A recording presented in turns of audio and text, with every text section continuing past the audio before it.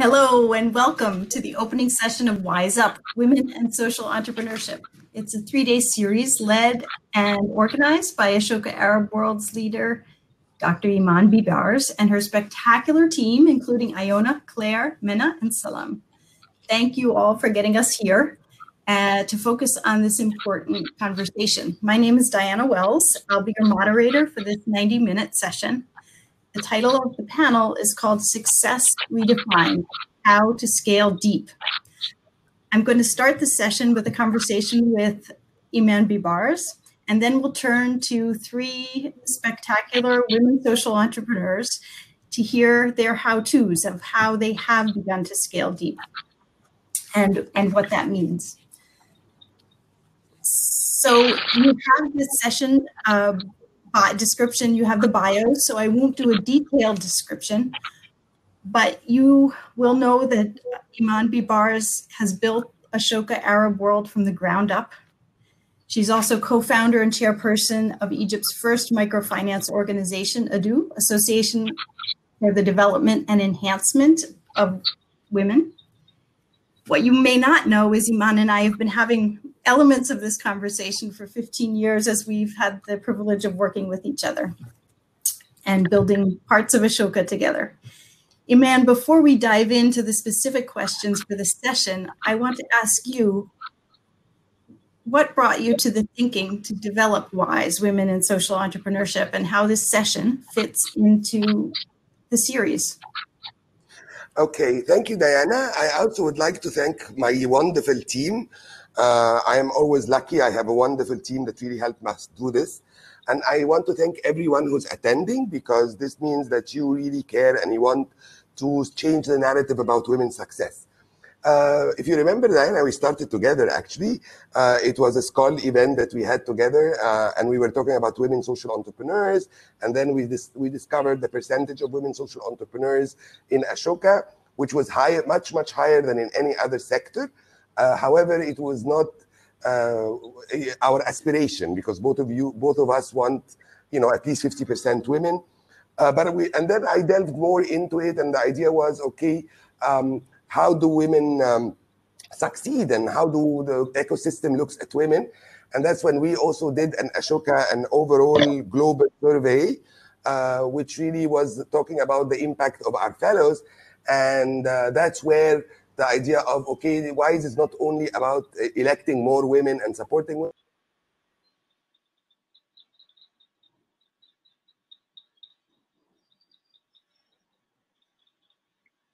Defining success from a gender lens. Series is part of a whole pro- framework uh, that we work in Ashoka globally across the world with many of the countries. And the Wise Up is just one of the activities or our efforts to change the narrative. Uh, um, the objective really of the series is to create a movement. I mean, everybody who's following now and all the wonderful leaders with us, we're all concerned and we all want to create a movement to change the narrative about what women's success is and how and the impact and how we define it. We want to show showcase like there are many stories that we will share here uh, our leaders today but also the next two days uh, of women social entrepreneurs who really had a great impact but maybe not recognized sometimes because the, the mainstream has defined success in one way. And we're going to talk about it later. But we came up with the idea that uh, all social entrepreneurs, but mainly women, uh, they, they, they focus on scaling what we call scaling deep and scaling up, which means changing laws, in addition to scaling out. And we will have examples of uh, our uh, uh, social entrepreneurs who will say that we, they did the three things they did scale up, out, and, and, and deep, but also it's very important that we really focus on scaling deep and scaling up in our definition because this is what women do. Um, and I think a lot of others, but also it is a way for us to prove that women succeed. Uh, and and we really want to create this movement. We want to create to change the narrative because uh, we want people to identify with and support and invest because of course it affects investment all these social entrepreneurs who are women who are having an impact but maybe not recognized um, as I said, we are an, a global platform. Ashoka is a global platform of social entrepreneurs. We have around 3,800 fellows, and 40% of them are women uh, in any field. So we're talking about women who succeed and have an impact in any field, not just gender empowerment, which is very important. And we want the stories to tell everyone who's listening to us and who is concerned with the subject to repeat the story and to start changing the ecosystem.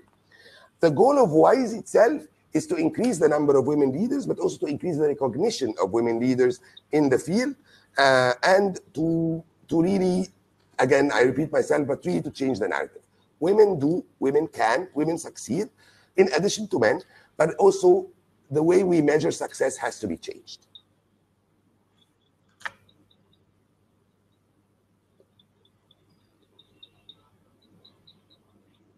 Thank you. Thank you. So, uh, You're mute. when you talk about scaling deep, how is that different from scaling out or scaling up?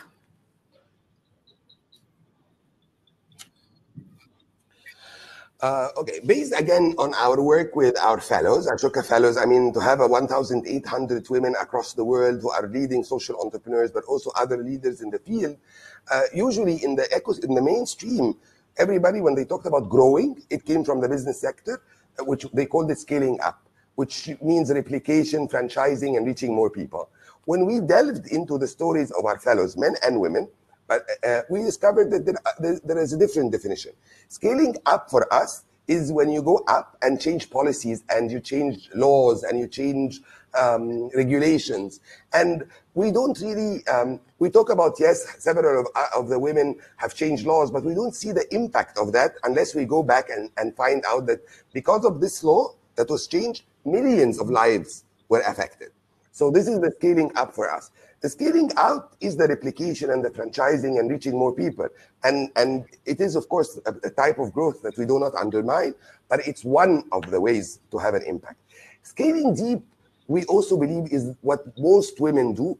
Most of the time, when women adopt, I mean, they, they, take a challenge or they, they care about a cause, it's about changing perception, behavior, patterns of behavior, um, the way people think, mindsets. When you do this, that's scaling deep because you're changing cultural uh, ideas or norms or, or misconceptions of, of a certain group of people. And this is deep because once you change a number of people and the way they think and behave, then they change the way their kids behave, uh, the way their neighbors and friends behave. And this is the scaling deep part. When you change the patterns of behavior in a particular society, this happens is very sustainable and it grows generation after generation after generation.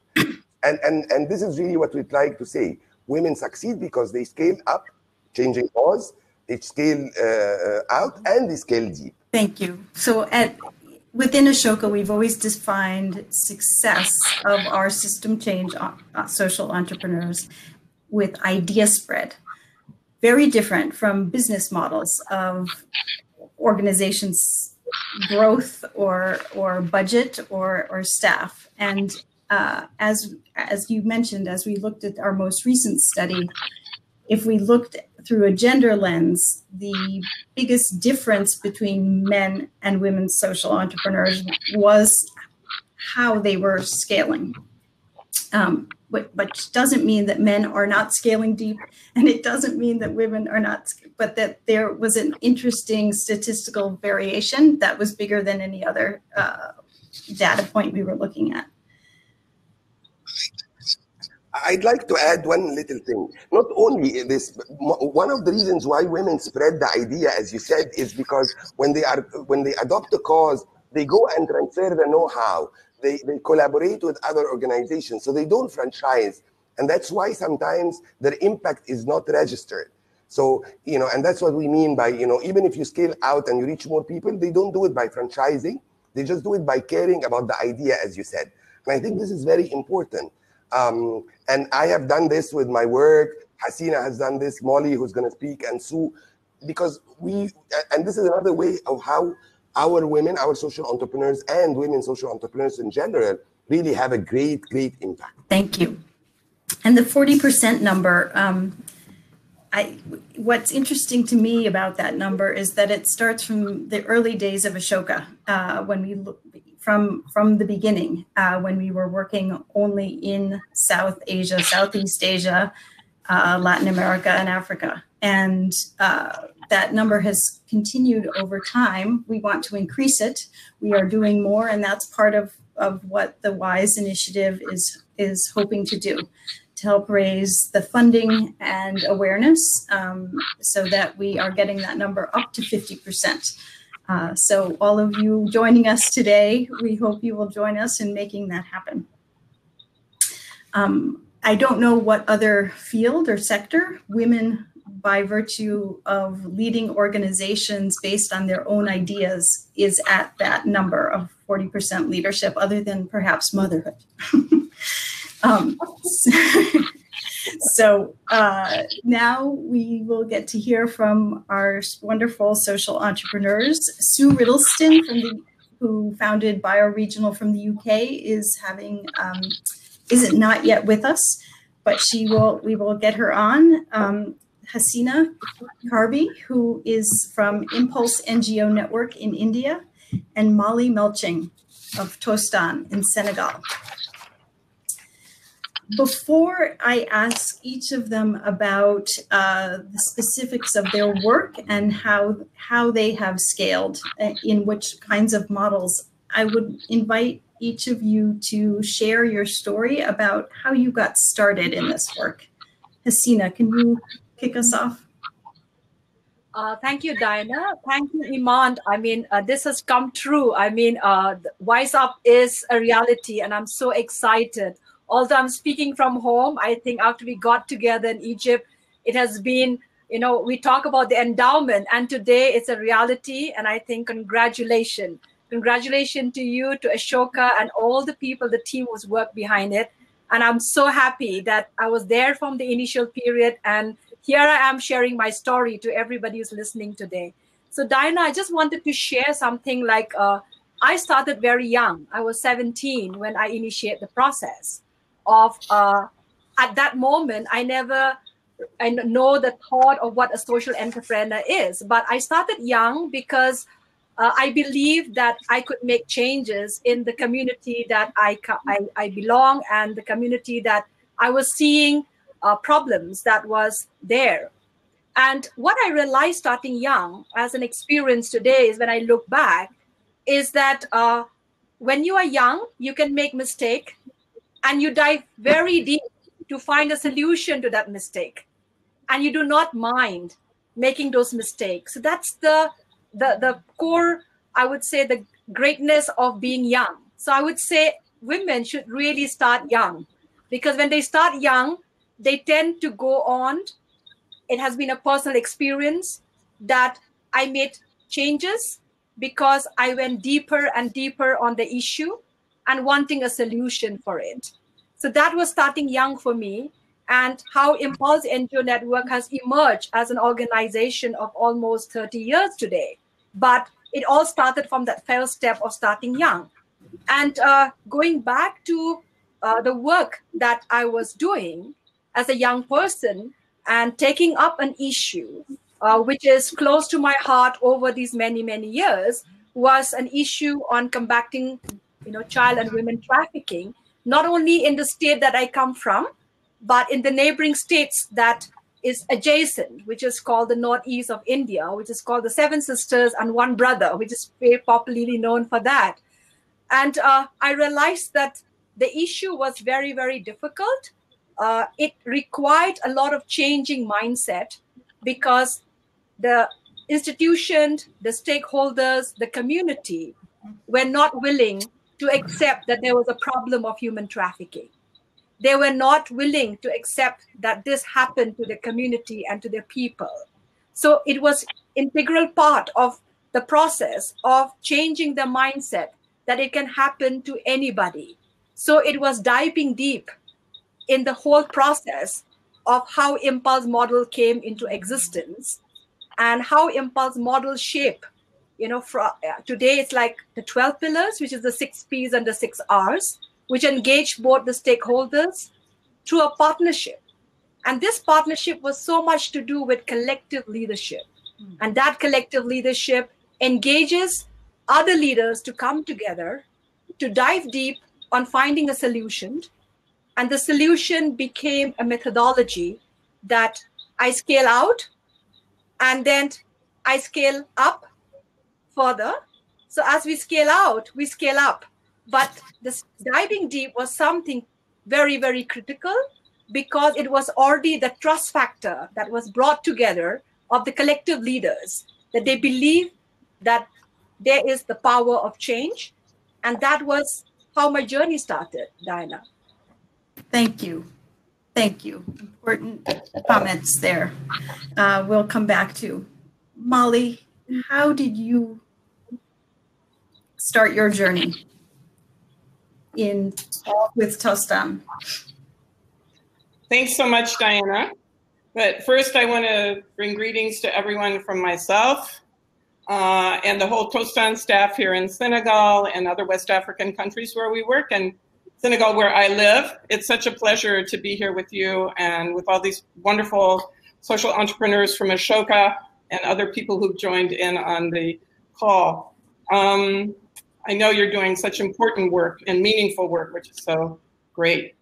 Uh, I arrived in Senegal actually as an exchange student at the University of uh, in Dakar. Uh, when I and I was only going to stay for six months when I first came in 1974.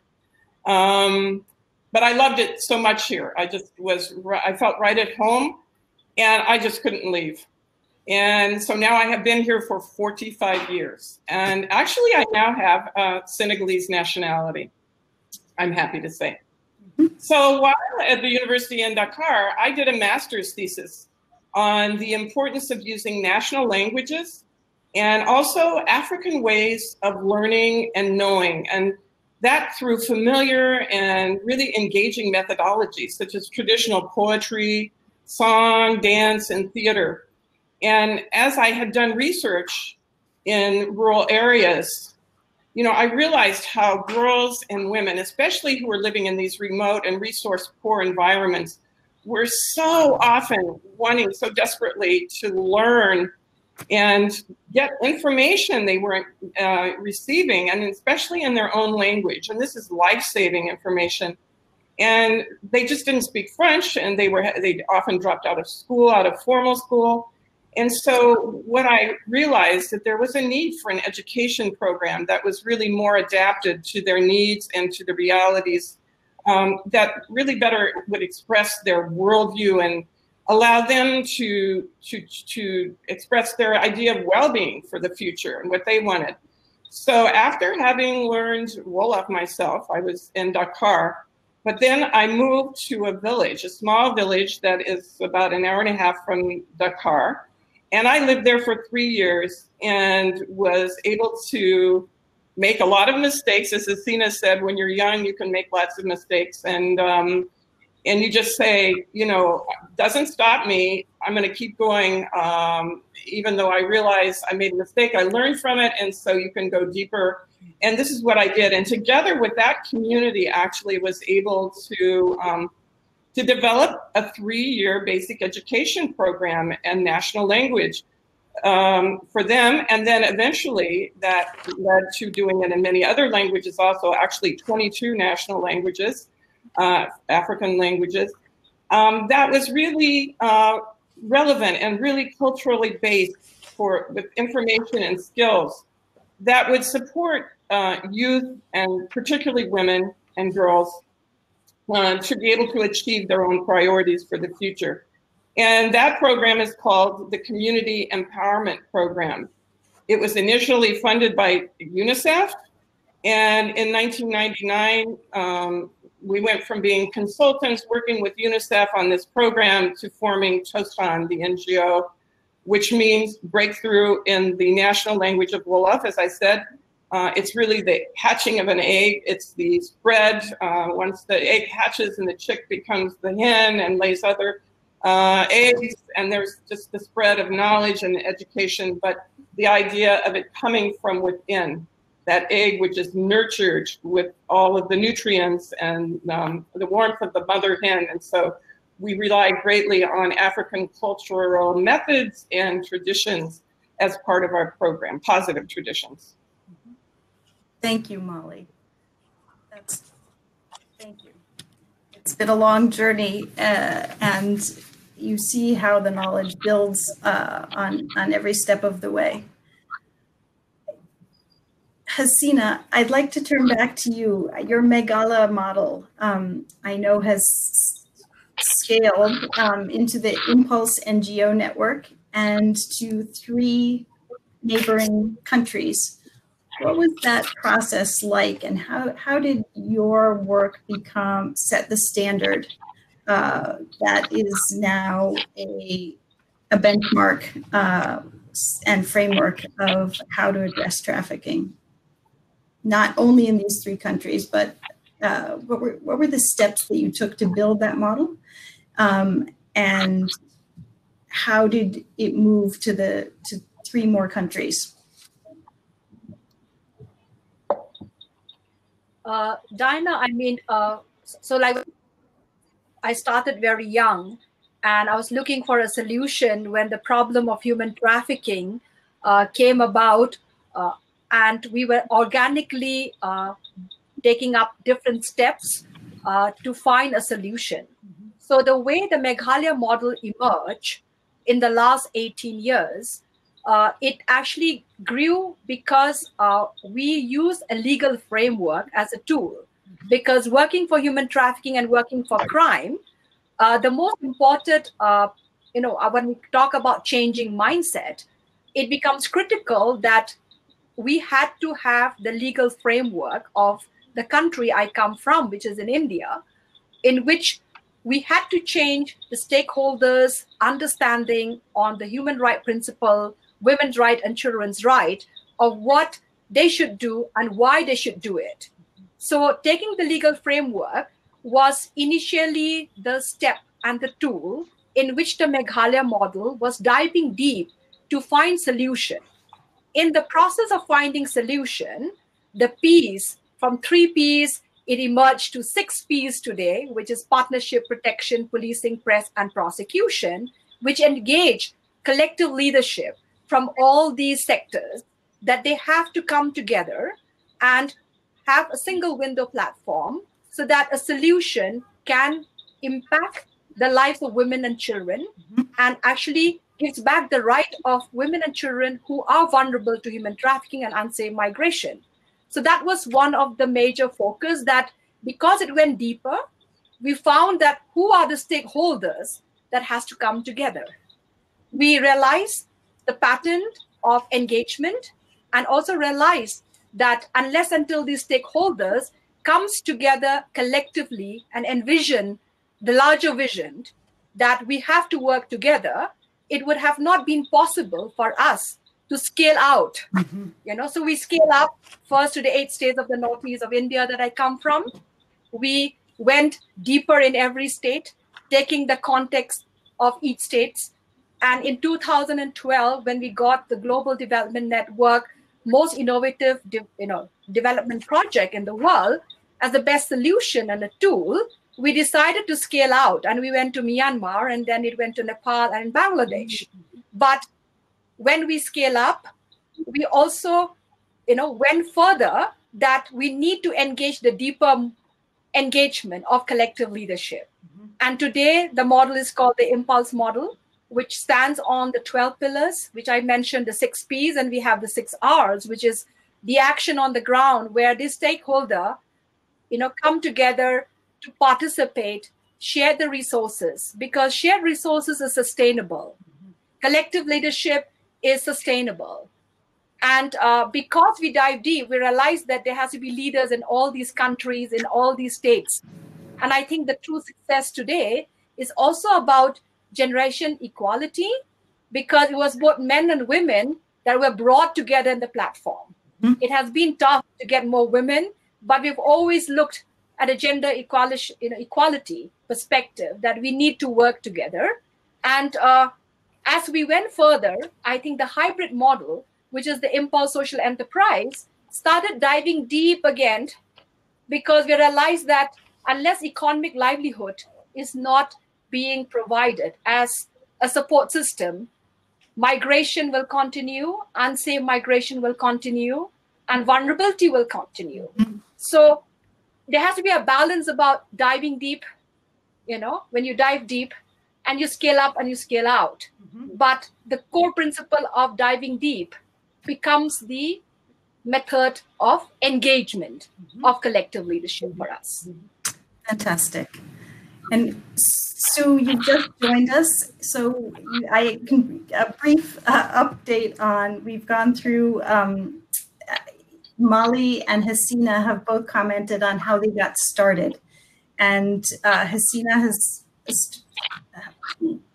made the point about how starting young, as Molly did as well, uh, helped build the muscle uh, to begin this work, to be comfortable about making mistakes and picking up and learning from those, as well as uh, scaling deep as changing mindsets and norms that help uh, build trust and engage stakeholders at the table uh, so that it becomes easier to change mindsets by scaling up and changing legal frameworks.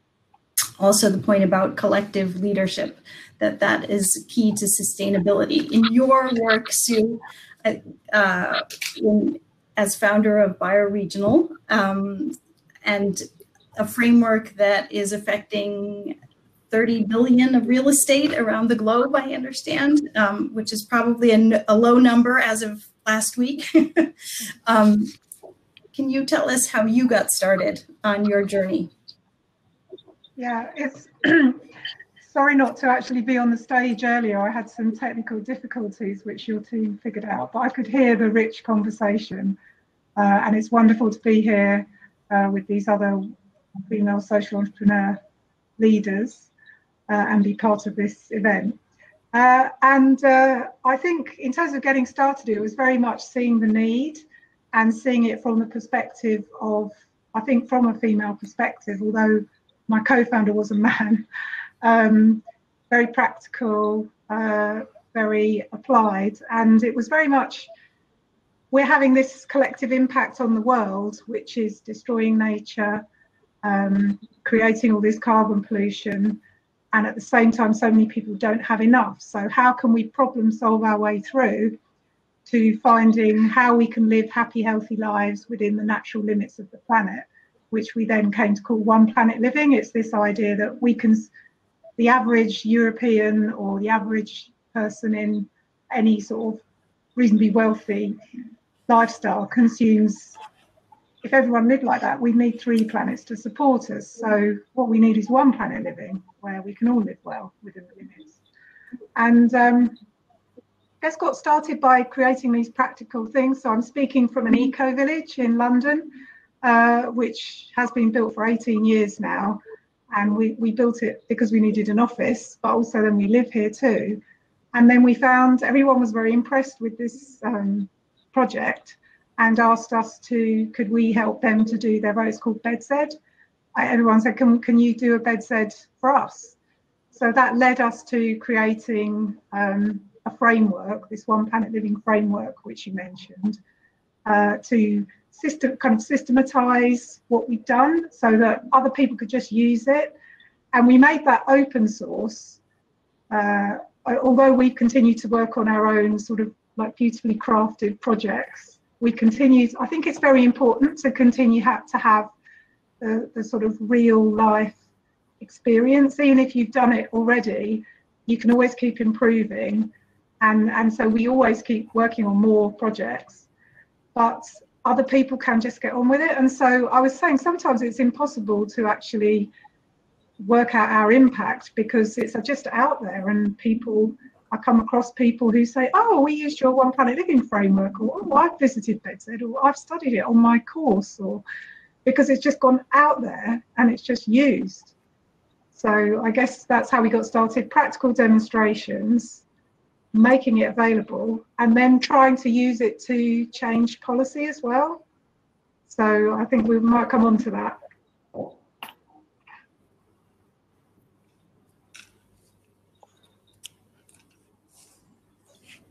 Oh, I can't hear you.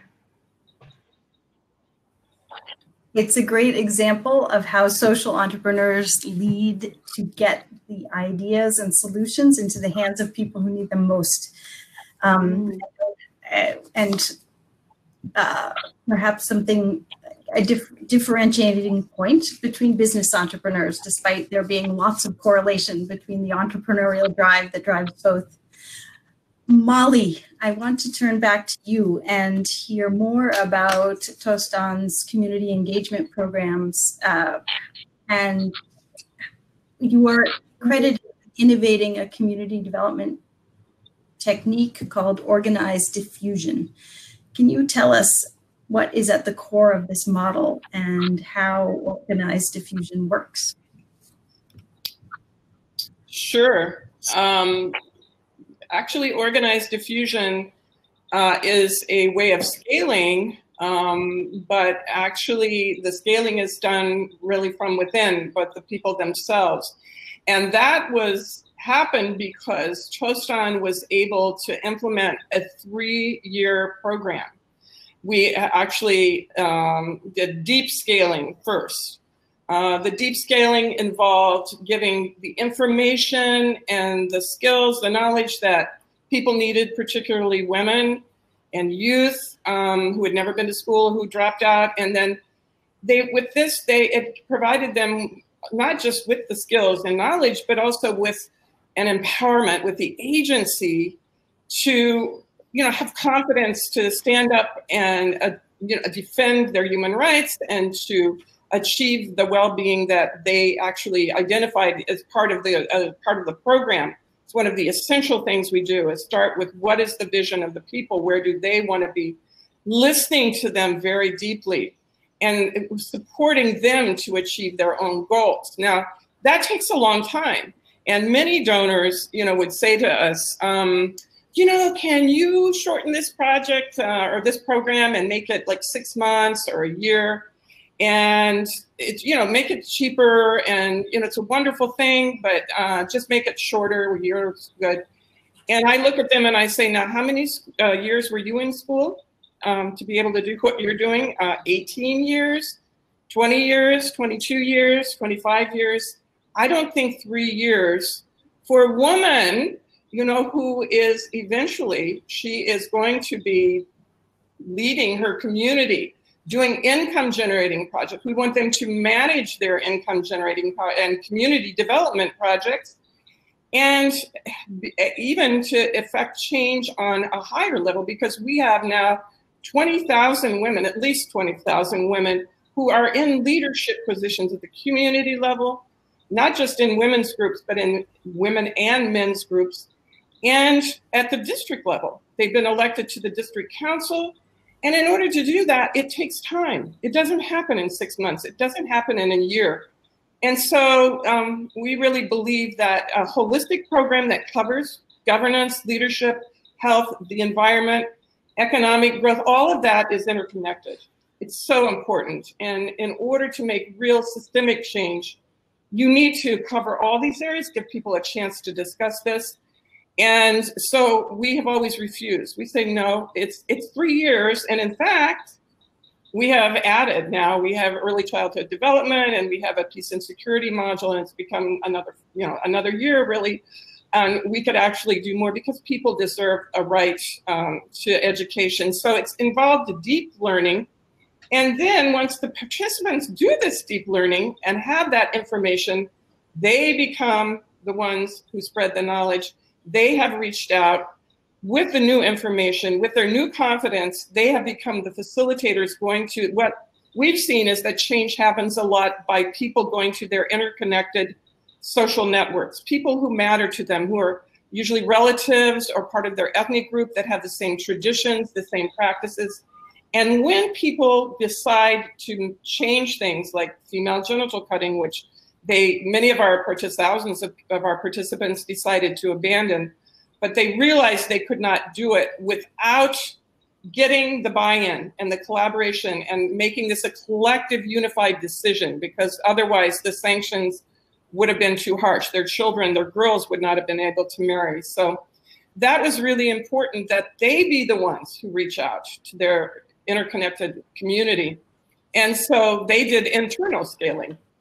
And then we scaled up too, though, because um, this approach was so successful and leading to more than 8,800 communities now that have abandoned FGC. And all of our ex- internal and external evaluations have really shown that it has been successful, which has led the government of Senegal to actually adopt this strategy for their national action plan. So it shows you, though, that it, when you have a model, and I go back to Hasina, she said having a model is important. And then others can see that. And right now we're scaling out, not only implementing in other countries, but we also we offer a 10-day training seminar to try to share uh, with other NGO leaders and religious leaders who come to our center. Over 600 have come in the past five years. We've shared with them, uh, and they of course don't um, uh, take the model as it is, but they adapt it to their own programs. And I think a lot of them are on um, the on the call today, and they're absolutely amazing and have integrated many of the aspects into the, their own wonderful pro- programs. So we do all three but it starts with the deep. The deep is the most important. I totally agree. Then you can and do the up, and you can do the up, and you have a model to show, uh, communities to visit, women to talk to who are the leaders who are making these decisions. It's so powerful to see it. Just amazing. It sounds like that's where the learning happens to be able to take the next step. Sue, I'd love to turn to you. Uh, and I, in recognition of the, all the work that you did to build this and push uh, the UN to get to the Sustainability Development Goals, SDGs, how were you able to build a framework that was be able to change both individual and organizational mindsets and big institution mindsets? Well, I guess um, our experience with One Planet Living is the way to uh, is the process that we use with it as well, which is very much, I was very struck by the similarities with what Molly talks about, that uh, we co-create a plan and it's, it's kept very simple. Our 10 principles of One Planet Living are, you know, health and happiness, community, nature, things that everyone can understand. It's not mystical and it's fun and uh, people can work together and then get a buy-in to own actually own it themselves and they created it themselves just use populating this framework towards achieving one planet living.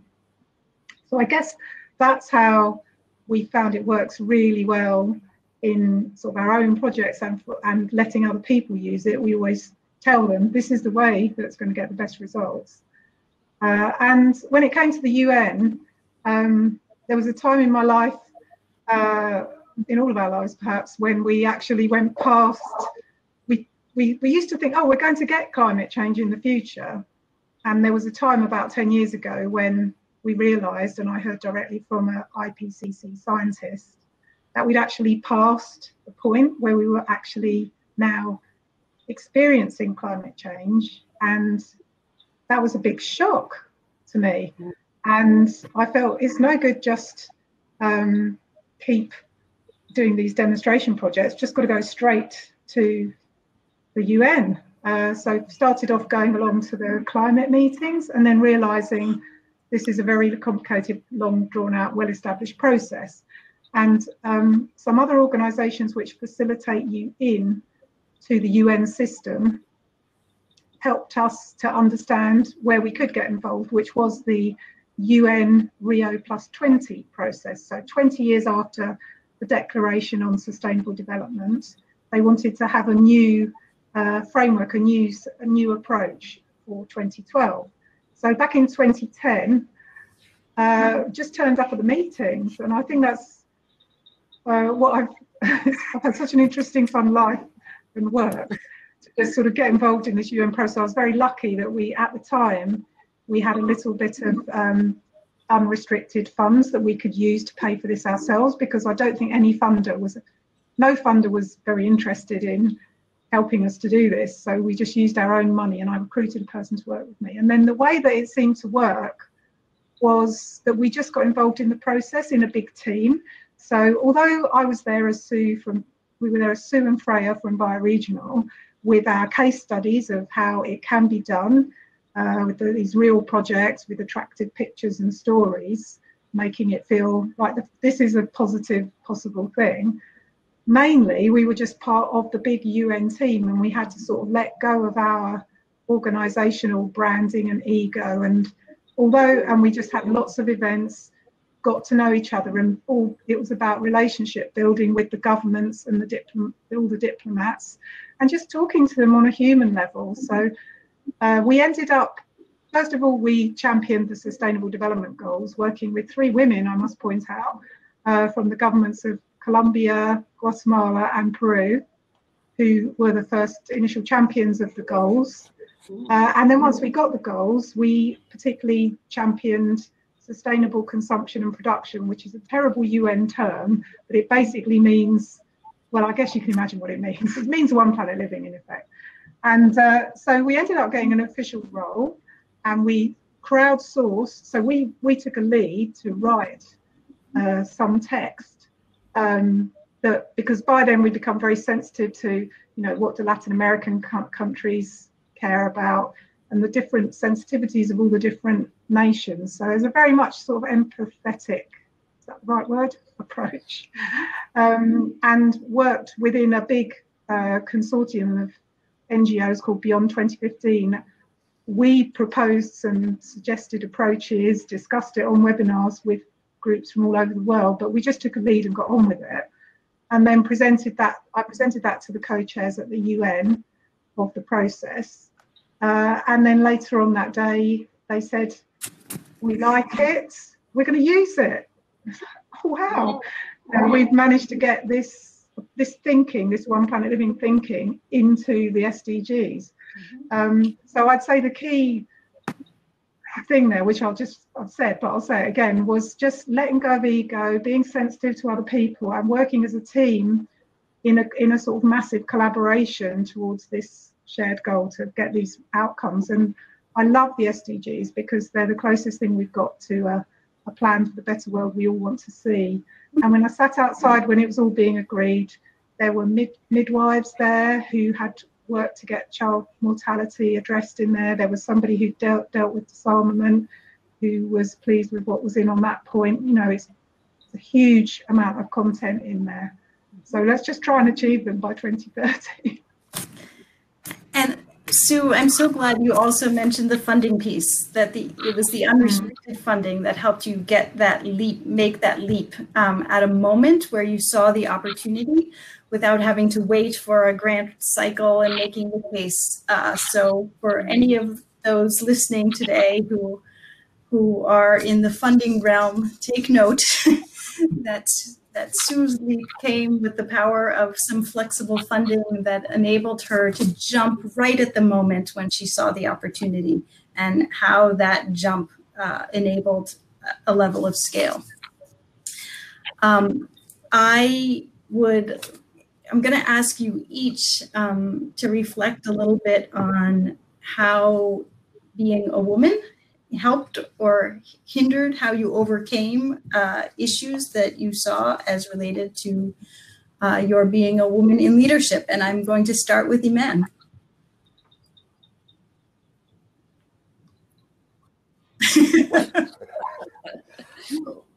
um, I wasn't expecting this. Um, I, I, actually think um, that the beauty of having all these wonderful women with us all through the next three days and today is that we are women, and in spite of the challenges, we won. We overcome overcame the challenges, and I think this is important to inspire younger girls and younger people because, of course, as I, am an Egyptian woman, I'm an uh, you know I live in Egypt, and there were many challenges that I could have uh, that I probably faced. But the point of being a social entrepreneur is that you see every challenge as an opportunity. And Molly here going to a strange country, Hasina going and discussing trafficking, Sue going to the UN directly. Um, of course, uh, you know, that is not an easy thing to do, but we have overcome the challenges. And I think a lot of my challenges were that I started very young. When we started the Association for the, for the Development and Enhancement of Women, uh, uh, everybody, every single person was making fun of us, actually, that we were westernized girls because women are never alone, that men take care of women. And we had to tell them, no, we work in squatter areas, and this is there are women who are heading their households, and we even created 10 types, and they have no one to go and they have no choice. So everybody made fun of us, but we continued. Uh, then when we started giving microcredit because we were able to read about Grameen Bank and we did it, we Egyptianized it. Everybody said, ah, you're going to take interest rates. You are terrible people. So again, we were attacked, but we continued. Not only did we continue, we did exactly what um, Hasina and, and Sue and Molly said. We collaborated. You know, when you said people, we spread our ideas, we didn't franchise. We trained a lot of NGOs in Egypt, in Morocco, in Jordan. Uh, we, we started to share our experience. Uh, we started to look at the legal existence of women.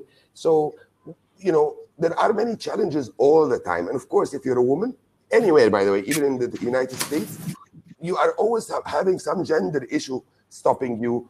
Um, but the lesson I think we're coming up with, uh, from this series is that in spite of that, we succeed. And in spite of that, we change. So, what happened? Your, your pictures disappeared. Hasina, any any comments you'd like to make about challenges you've overcome in doing this work, starting young as a woman? Advantages, disadvantages? I think the the advantages is that um, you don't give up when you start young as a woman. You, you know, you continue. You are consistent. You move towards making that change because you are. You know, you there's always that heat inside your heart that say the gut feeling is I have to do it, and that is something that comes when you start young. And the other part is yes, I mean, uh, I think all over the world, uh, women always face uh, always face you know challenges as women leaders. I also face the same when I started. Uh, typically, of the fact that uh, I had to make system change when I was diving deep to make law enforcement and uniform personnel to understand that human trafficking uh, is never a choice that women make, and it's not prostitution. And they were looking at me as this young girl is what is she trying to tell us? You know, I mean, uh, you better grow up first, and then you come and tell us what system change has to be done. So I realized that very much that there were simple things that I had to take up in my in my way of taking it forward. Is that I even changed the way I dress you know i would be dressing very maturely and and really really maturely to go in front of all the uniform personnel to make them listen what i was trying to say. So that was itself one step of challenging the norms of gender you know gender i mean gender equality for me. Second was making them listen because the legal framework was a tool because we dived really deep you know in getting the 12 pillars but as I went forward and uh, make um, process and progress, even when I was scaling out, you know, and also scaling up, there were always these different challenges, but the challenges change over time. So the challenges that later came in is that uh, raising resources, raising money is never easy for women uh, because we would go by the core principle that we want things to change in a very holistic way. Mm-hmm. And that was the next challenge that I was facing to raise the money because there were more of Project Moat funding that was out there, and there were very less, uh, you know, donors who would be interested to fund innovation, which is very deep and is already gone scaling up and scaling out. So for me, is that I had to change that norm, and surprisingly, uh, I succeeded because I said I will not be motivated by a project. I have to make this change happen, and you have to invest in this innovation. And it took time because I was a woman, and they felt that my maths might not be great. You know, they felt that my financial understanding of making these things work was not that great because they felt I was driven by emotion. So it was mm-hmm. the trust factor that came from the collective leadership in the course of time that made me overcome. And if I look back today, it, it's surprising because I have a lot of young women who are also part of the process of the organization and partners and others. I would give the same example of how I went about it. but today's like i can work out in jeans and walk up and and people would listen to me i mean at the level of getting bilateral agreement i didn't really have to to do what i did you know so i think i overcome that very much. But then i look back at it i said hey today i can go in jeans and sit down and say this is how the policy has to be done. But Mm. i remember the first step. They thought i was this young girl who's trying to make things happen and it's a man's world. It might not be directly spoken but it was indirectly put forward you know? So that is the element of challenge that i overcome over the years. Thank you, Hasina. Molly, any reflections on both the the the asset and advantage and the Yeah. disadvantage?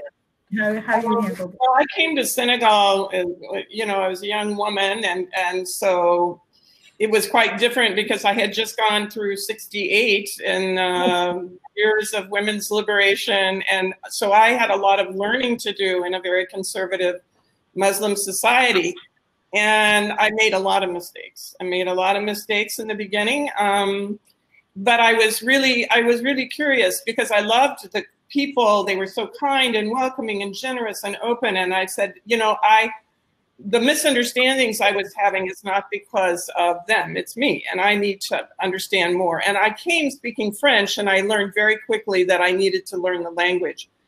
So as soon as I started learning um, the, the, the, language that is spoken the most here in Senegal, which is Wolof, I, it made a world of difference. I suddenly started uh, being able to respect people more, knowing how to greet people properly. And I was accepted because people were shocked that I, I spoke very good Wolof, that um, was, uh, um, I had a very good professor who very much emphasized the need to speak deep Wolof, uh, a beautiful Wolof. And I was lucky I, I got to learn and work with children in a children's center. And so um, I think I dressed appropriately also. I think that's so important. Uh, I, you know, Hasina talked about it. I started wearing boubous and long skirts and dresses, but of course I love that and I'm very tall, so, you know, it worked. And then I think when I started the program, you know, we originally, we do a lot of work on human rights, but originally, as being a woman, I came in and said, okay, we're going to do women's rights. You know, when I realized how we were doing research on women's health. And when we realized mm-hmm. that we cannot do women's health without first people that women have to know they have rights to be able to be able to really use those rights and apply them in their daily life. So we went in with women's rights, and guess what? You know, um, that was not the right approach. I mean, it should, it involves listening. The right approach, because the men, of course, were upset, they were suspicious, they closed down centers. And so um, we started listening. What, why, what is wrong? And they wanted to be included. And we realized um, we made a mistake because we really want a society where men and women are working together and partnering and youth. So we changed and we wrote our whole program in 2000. After um, 91 to 2000, we sat down and we changed from women's rights to human rights.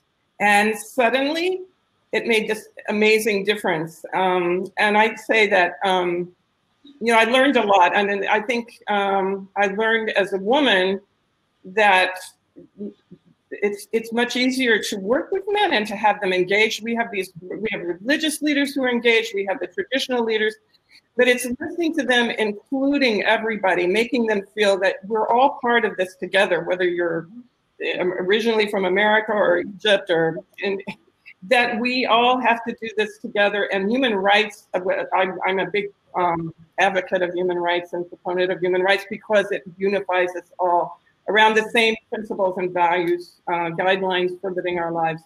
And we saw it in the field because we went from men being, you know, really opposed and angry. Uh, I mean, seriously, uh, burning tires and marching against us to actually embracing our program and um, becoming very involved and being doing their their sermons, their khutbas on Friday on supporting women's rights and women's engagement. So, you know, it's I think um, you learn from from listening, from really caring deeply to understand other people's perspective, having a certain empathy um, in the work you do so that uh, the, the change comes from people and it's not an imposition, but rather working beside people and helping them to achieve their goals for well-being. And, and, Molly, your commitment, to both learning the language and being there and listening, I'm sure propelled uh, deep trust and uh, an ability to move further. So, and and an interesting, you know, in each of these stories, I'm hearing there are moments when you're positioned as an insider and positioned as an outsider, and both have advantages to move the needle. Sue, any reflections from you as as uh, in your work and being a woman and and leading? Definitely. Um, I think sometimes it's hard to know: is it me as my personality, my character, or is it because I'm a woman? And some I find it quite hard to sort of tease out which is which. Um, so I'm not sure if this is the right answer, as it were. Um, and I have sort of known about um, work uh, and, and seen some of the uh, conclusions. So I think Iman should come back and remind us all, in my opinion, what they are. But um, so don't forget.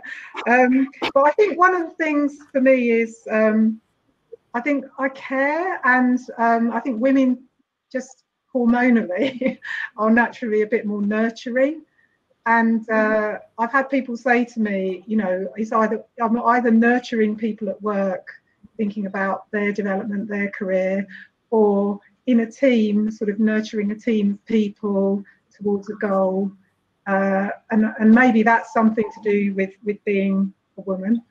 Also, I think my life is a bit, maybe women's lives are a bit more blended just because we're the ones who give birth to the children.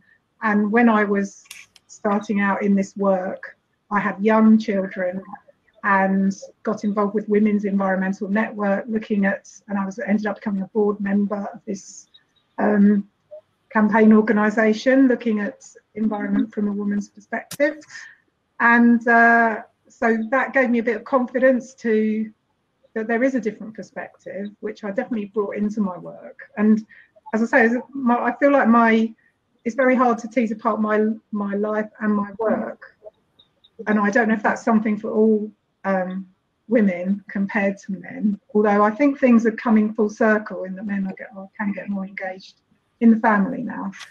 And so I was often thinking about the issue from a householder perspective uh, or from a family perspective, and also to keep it simple and understandable and not some demystifying career job that you have to make as complicated as possible. I, I just want things to be as simple as possible and as practical. And I think um, a couple more points. I think as a woman, I think especially I'm five foot two and a half, which is not very tall, and I'm a bit mumsy and nice, you know. And so I think that means I'm not challenging compared to say a, a man in a suit. And I have put a suit on to look the part.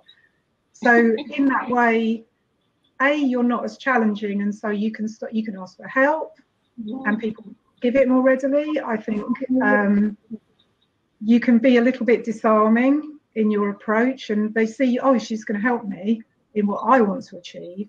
Um, but on the negative side, sometimes, hang on a minute, I said that, and a man in a suit who's tall with a booming voice will command more respect.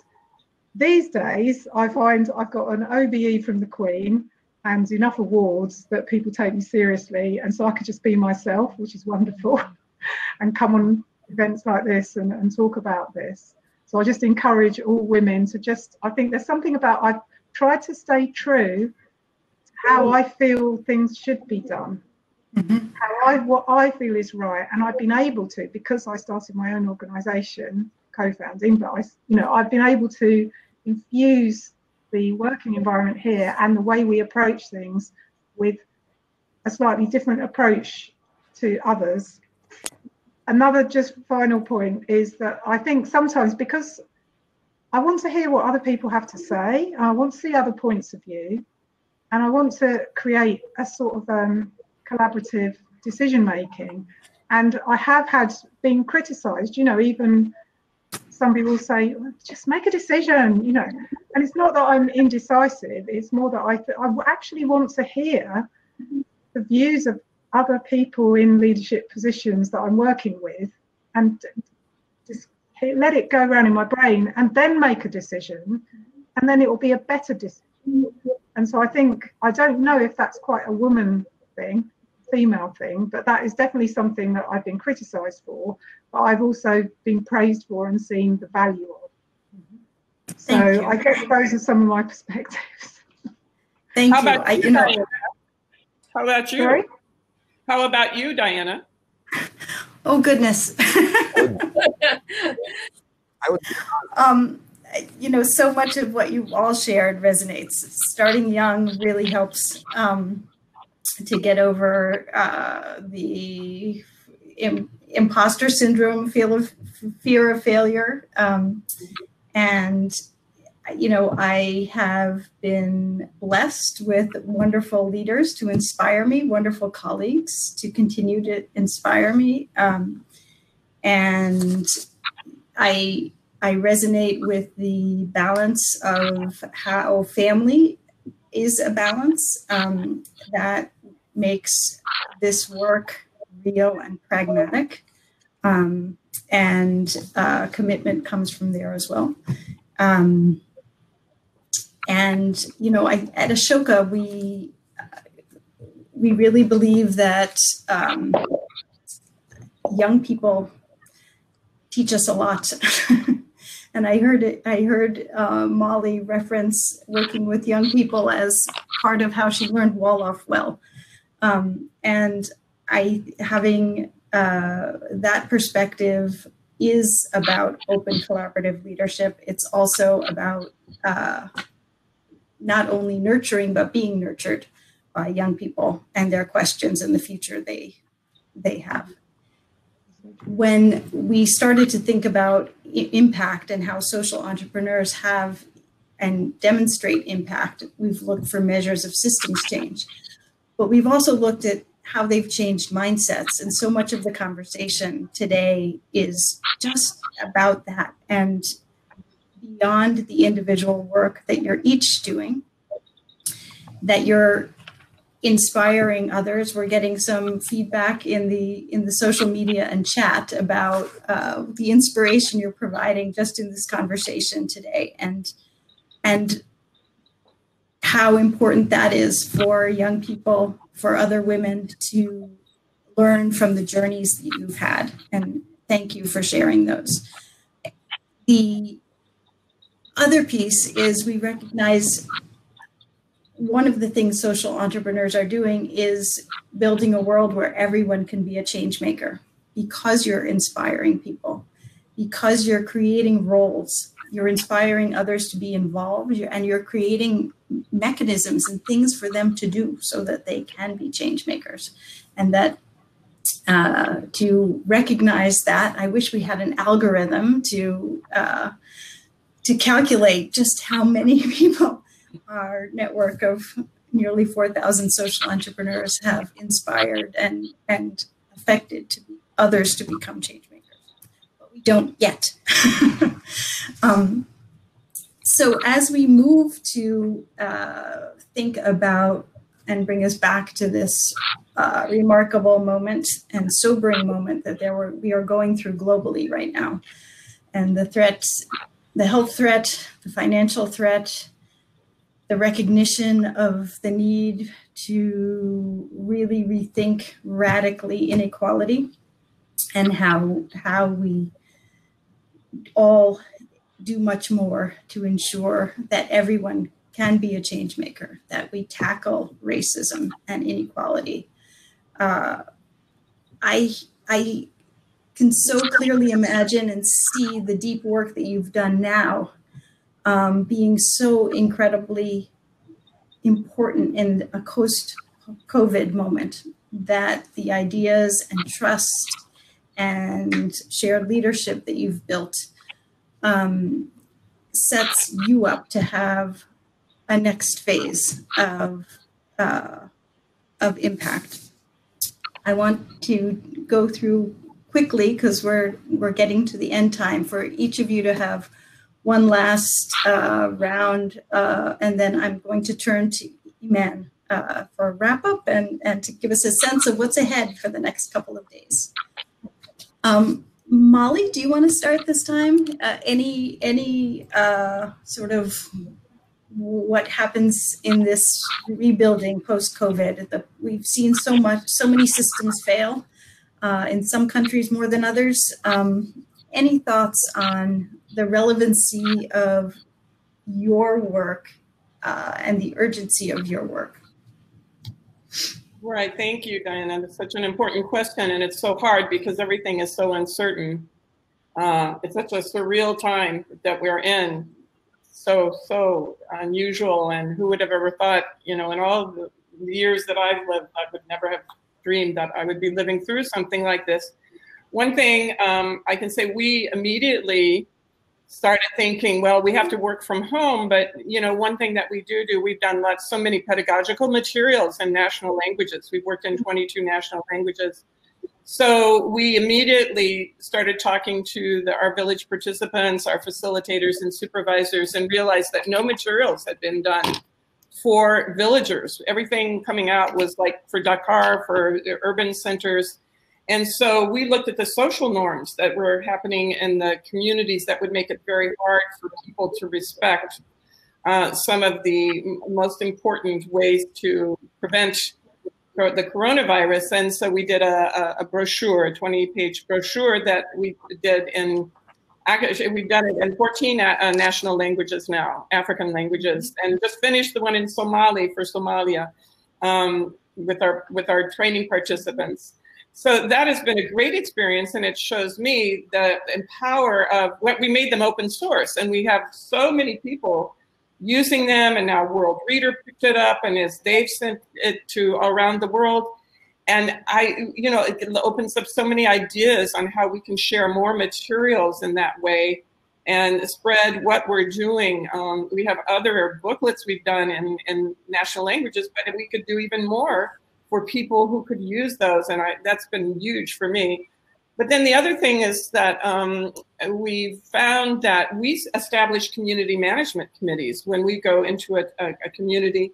And so there's this whole leadership, and most 80%, I'd say, of the community management committees are led by women, but men are part of it also, but they're very organized. And what we found is that this has been a wonderful model for others to see, like even people who have um, written to us and said, you know, we learned about that uh, uh, organizing a community management committee that's holistic, not just a health, not just a health committee, not just an education committee, but one that is um, there to represent the whole community. Uh, that we do so much training for, for income generation. Now on decentralization, we're doing um, uh, really in-depth information on how they can be elected to the the, the, the district council, what the roles and responsibilities are, how they can hold them accountable.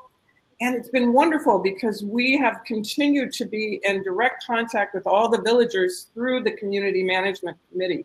We have a, an organized group to go to so that all the issues related to health, to education, um, to the environment, all these different uh, aspects, it's a holistic you know, approach uh, can we can have somewhere to touch base with um, doing that. And so we're recognizing how important that is and how we need to go deeper, another deep dive into making those more sustainable, listening carefully to them and what can help them in the future to maintain uh, this wonderful um, committee, which represents local government and then can now is advocating on the district level for services and for uh, infrastructure that they need, uh, building, you know, schools and health posts or health um, huts for their communities. So that is, I think, where we are going to be really focused um, after COVID.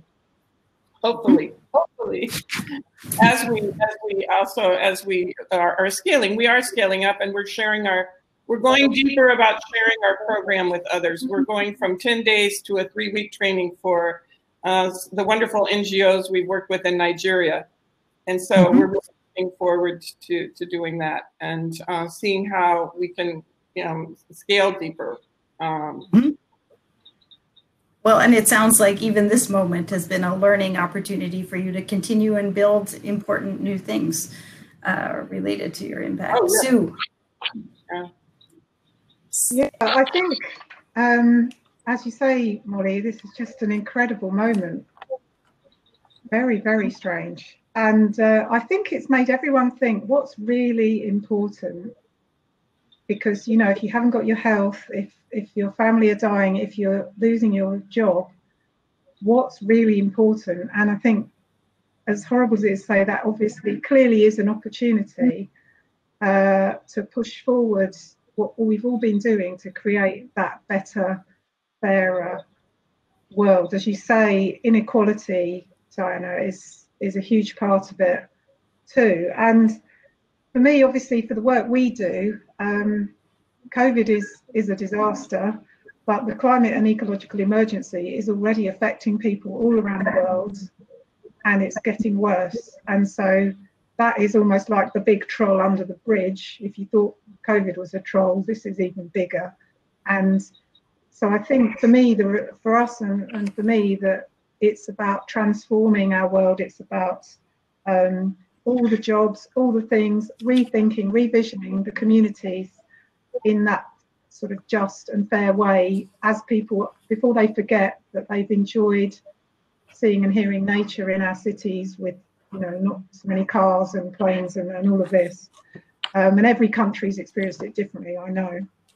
Um, so for Bioregional, uh, we've been responding by turning our training in One Planet Living into a digital offer, and that's really growing uh, very fast. People are really keen to do the training so that they can use it for their community, for their organisation. So uh, we're hoping to really ramp that up and do more on that.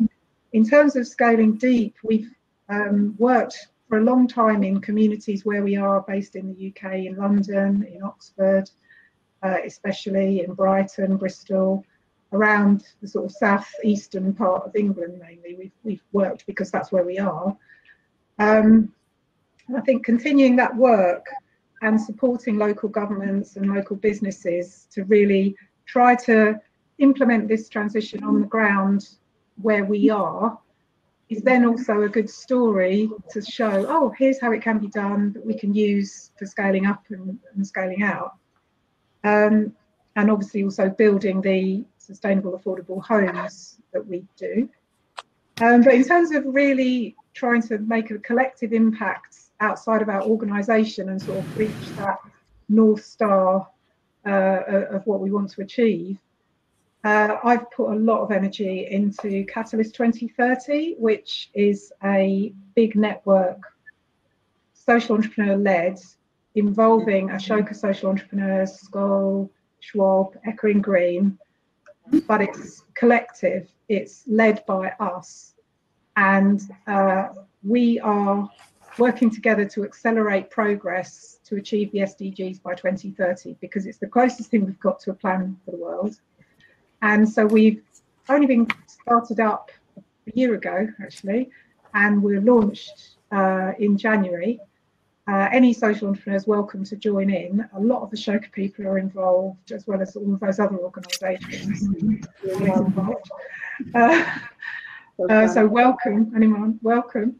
Uh, and what we're trying to do is raise the profile of social entrepreneur approaches, social entrepreneur solutions, and our expertise. Like we're not, we're very, we're sensitive that we're not going to say to the government, do our put in place our solution. We're, we're like, oh, we've got we've got expertise.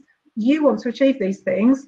We've got some ways that that can work. Let us work together. And we have had some milestone moments. Like last week, we had the uh, UN Deputy Secretary General Amina Mohammed uh, responded to the report that we've just produced with recommendations on this very topic. You know, how do we go post COVID? And she said she will uh, discuss with the Secretary General about social entrepreneurs, and she will look at how we can be weaved into the system, those UN systems, because you're either an NGO or you're a business. But social entrepreneurs bring the sort of practical business thinking uh, and pragmatism together with the idealism and the vision and the caring nature of the NGOs. So, you know, it's just a perfect blend for them if they could ever get their head around it. So we're going to try and explain. And Amina Mohammed said they don't understand. You do need to talk to them. So, um, so that's a big way that I think social entrepreneurs can. Thank you for raising Catalyst 2030. Um, it has been a very uh, inspiring effort um, in a moment to bring so many of us together. Um, and I also heard Amina Mohammed uh, make the point that young people also have to be at the table, uh, which was in addition to social entrepreneurs, which was, was thrilling. Hasina, a few uh, short comments from you, uh, just so I can turn to Iman to help us wrap up. Um, any any comments about this COVID moment, what you're doing, what what's the urgency ahead for you? So the for, for me, the urgency was that the organization has to sustain. So we, we look a little bit inwards, uh, the team that was part of the entire process and taking a, a taking a very strong decision that uh, for the next till December we'll work from home was one of the major important decision because we also have a lot of young team and we also have a lot of partnership that we had co-create our work so that was very utmost important. And I felt that as a leader, if our team doesn't survive, then the work outside the organization can never survive. So it was a very important part and an important decision that was being taken. Uh, the second part is that uh, uh, it gave a lot of time for me uh, to actually reconnect with our partners and the challenges that all our partners, our state partners, our country partners are facing uh, during the COVID situation right now, the lockdown in many countries that we are working, uh, even in the different states that we are working, and understanding that what would be the sustainable plan that these organizations and leaders can actually overcome. So that's very critical because we are working on preventing unsafe migration, uh, providing economic uh, solution uh, through a hybrid model, uh, and ensuring that Impulse Social Enterprise will be uh, the solution that is an add-on to the model.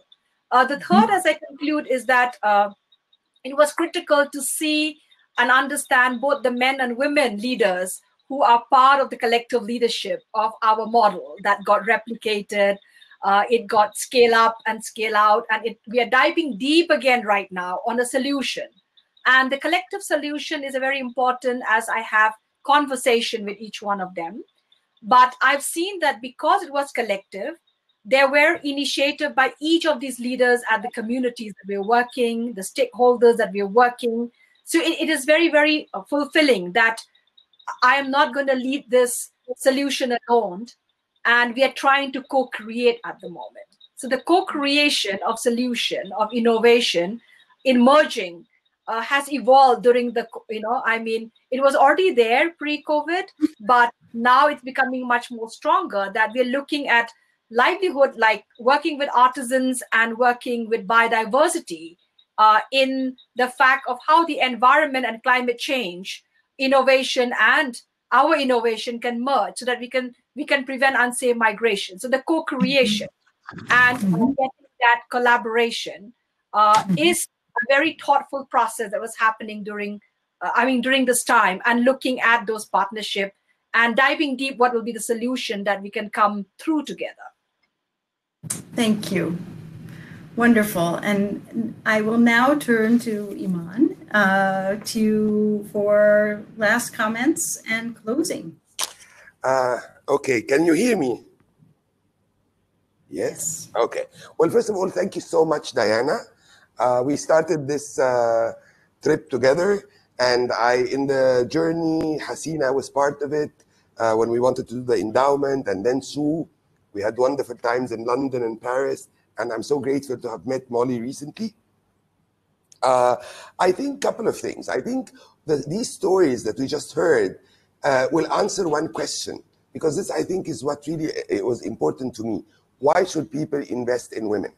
And I think uh, when we asked this question, the answer was, but women don't have, they don't scale up the traditional way, they don't reach more people. And I think these stories today, and I think the objective of these, the WISE in general and WISE Up in particular, as I said earlier, is a movement to change the narrative about success, to redefine success from a gender perspective.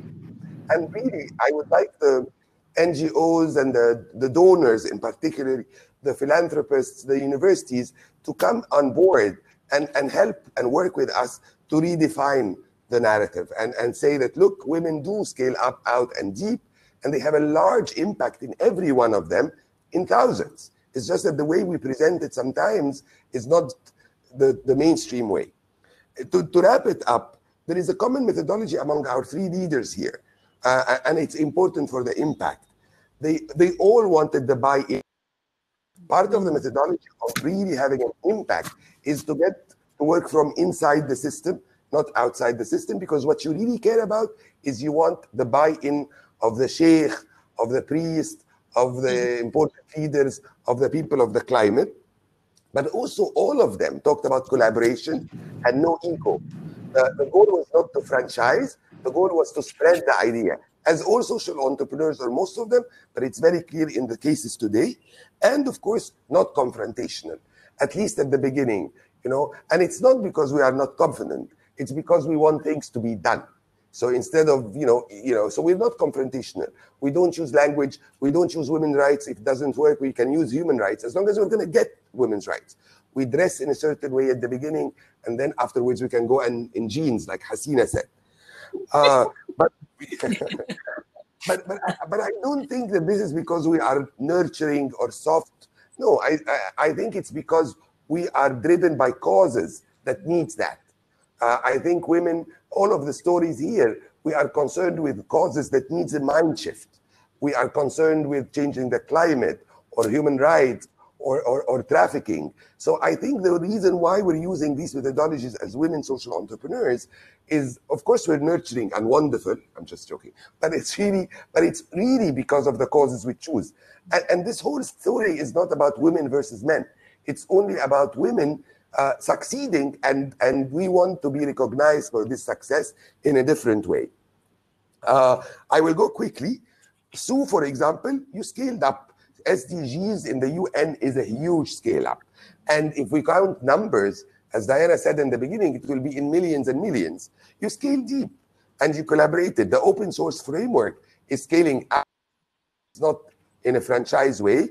And you change mindsets of organizations. Molly you scaled out in the communities, 8,000 communities in other countries, but you also, the organized, the organized diffusion is real scaling deep. This is where people adopt your belief. It's like a religion, you know, and therefore they spread it. And you scaled up because the government of, of, of, uh, of Senegal adopted your model. So here we are. But do we go in any presentation and say that? We usually talk about our activities. This is what we need. Hasina, my, my colleague, you scaled out in the countries. You went to Myanmar, for God's sake, and, uh, and India and other places. You scaled deep because you made the communities accept these girls, the trafficked girls, and you provided them with an income, and you made the public opinion accept what you're doing. And that's why you also scaled up when, when two or three or four governments uh, you know, accepted your legal framework. So I'm just saying that this is the sum of these are the stories we want people to hear. We want donors and universities to hear. And I, I just want to go quickly that tomorrow we have the Leading Wisely, which is about young change makers, the young girls. People, please listen. There are young girls, very young girls, who, are, who want to change the world, and they did wonderful stuff. So tomorrow is Leading Wisely, Young Change Makers Shaping the World. Uh, it's 4 p.m. GMT, uh, dismantling systemic racism on a global level. This you have to see it because we are saying that women have already found solutions to systemic racism, you know, and including and, and mostly in America and Europe. And um, listen to the women guys because they have the solution. So tomorrow it's also 5:15 p.m. GMT plus 2. Uh, it is dismantling systemic racism. The day after, South led stories of impact. We're saying that yes, we want to hear the stories of women, but we also want to hear the voice of the South. Because, you know, when we talk global, it's not only global north, it's also global south. And I'm the moderator of that one, of course, you know that. Southland. and then the final, the final session um, for now is called the word, a wiser word, uh, the redefining impact. And I think this also will include a lot. The last session includes a lot of the enablers. So we will have uh, fundraisers, uh, donors, and universities, and and shakers and makers, and what Ashoka calls the Jitsu partners. So that will be in the last uh, session. Um, I would like everybody to join and to and to ask others to join, and, and I'm really grateful for all the people, uh, the, uh, the 140 at the beginning who joined. But I just want to say that this is not the end. Uh, after these sessions, uh, we will have a round table. And the round table is about, okay, what is, what is the responsibility and the pledge of every one of us, uh, of every woman, of every organization, of the donors, uh, the, the, ones who should give, uh, like, you know, unrestricted funding, um, and should really believe in the power of what we're talking about. Because at the end, we want to empower every single social entrepreneur in the world, but of course, we also want to them to recognize the impact of women. As wise, we want to elect 50% uh, of our, to, you know, to have 50% of our, our, cohort, I mean, of all our fellows women. We want, we, we have, uh, the, uh, we have collaborative funds between the female fellows. And also we want to collaborate with universities and other Jitsu partners and publishers and the media to change the narrative about women's success.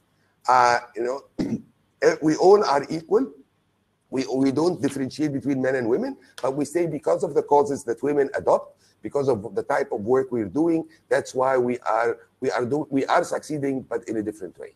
Thank you. Thank you, Iman, and congratulations for uh, the three days ahead for your work on WISE. It's been thrilling to be part of this uh, session today, to be with all of you, continuing to learn how to scale deep um, and to recognize the remarkable work that women do, but also all social entrepreneurs in changing mindsets as and uh, that doesn't always get recognized because it's not about branding, it's not about budget size or organizational size, and uh, we have to begin to see differently so we can do differently because this is the kind of work that sticks, that's sustainable, that really drives change in the long term long-term irreversible change. So thank you for giving us this opportunity to have the conversation, for joining us, for persevering through technology glitches and connectivity and the reality that we're all living in. Um, I'm grateful for these moments uh, where we can come together and build for the future. Thank you. Thank you. Thank you. And enjoy the, the next couple of days. Yeah. Uh, bye bye. Bye bye. Bye bye. Bye.